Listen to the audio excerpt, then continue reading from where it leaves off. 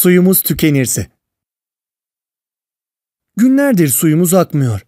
Şimdi bidonlara doldurduğumuz suları kullanıyoruz. O da bitmek üzere. Barajlarımızdaki sular da bitmek üzereymiş. Susuz kalırsak ne yaparız biz? Bir gün suyumuzun tükenebileceği hiç aklıma gelmemişti. Şimdi düşünüyorum da dişimi fırçalamak için musluğu açardım, fırçalayıp bitirinceye kadar su akardı.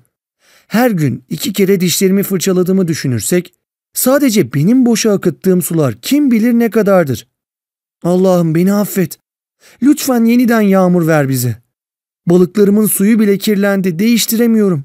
Sadece benim balıklarım değil, suyu azalan göllerdeki, barajlardaki balıklar da var. Söz veriyorum, yalnızca ihtiyacım kadar kullanacağım. Dedem bir bardak su ister, ben getirince kana kana içerdi.